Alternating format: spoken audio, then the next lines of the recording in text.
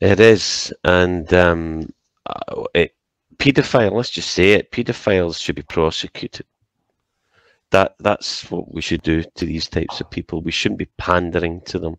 You know, this this old double speak or double think or double talk. It's like news. It, it, it's it's Orwellian, and we're recategorizing all sorts of things and redefining all sorts of things, be it economic, sexual, gender, all of this stuff.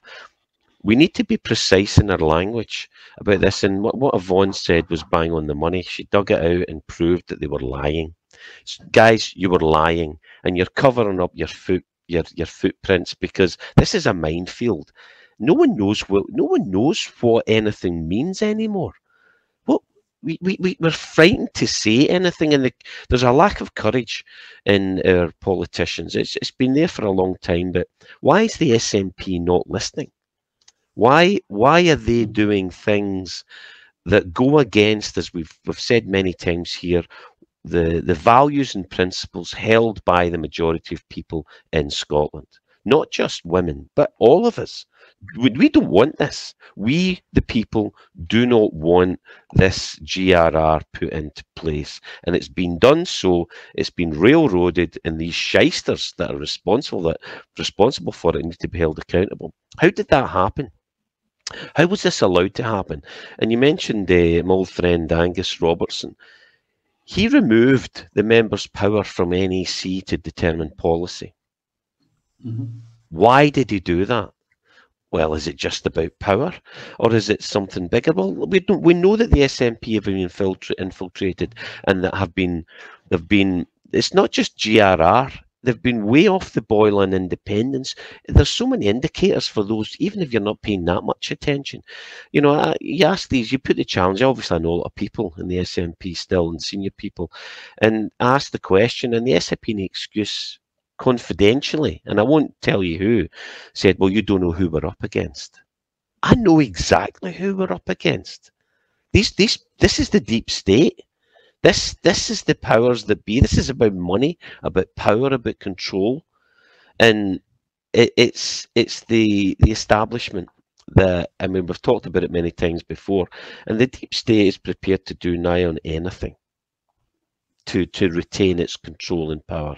And we elect politicians who are supposed to have the courage to stand up for it, Uh, stand up for us against these people. And if you're not willing to do it, then get off, get off the pot. You know, you need to resign. You need to quit. And there's the list is almost apart from the rebels who stood against this they're the they're the ones we need to back. The rest of them, right now, your coat's on a sugary peg, and most of you will have to go because if you lack the courage, um, then you shouldn't be there to stand up for what we want. We need people who represent us. So we need to correct an SNP and make sure Alba do the same. That the NEC is representative of the people, of the members, of the individuals in Scotland. And and something Eva would know very well, cui bono who who benefits from this gender act? Where is the money? Big pharma. Where is the money coming? It's big pharma. Why? Because these kids are hooked on this for all of their lives. Let's let's let's show these shysters for who they are, and let's point out. I mean, the, the, the, the MSPs who went up and clapped and who voted this in are all spineless, chinless cockwombles, my favourite word of late. And they will do exactly what they're told to do, including Coatbridge.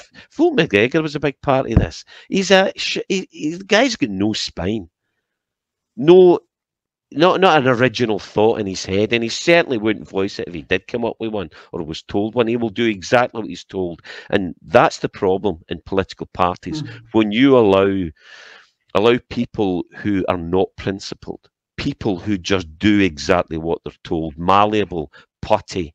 They there is no, they just have they lack courage the, the courage that is required to reclaim your country from those who have taken it from you is lacking in this people. So why in hell, why on earth are we allowing these people to continue? Let's remove them all. Let's just get rid of them. Because if we don't, we're not going to get independence. And this is why For me, independence is number one because that, in a country of Scots and those who work and live here, we know what we want. We want a civilized, decent, fairer society, and we'll only get that through independence. This is why I, I would vote, I, I will support the Tories or anyone who stands against what is wrong because we need to do the right thing and we've got the wrong people in place. We need to change that.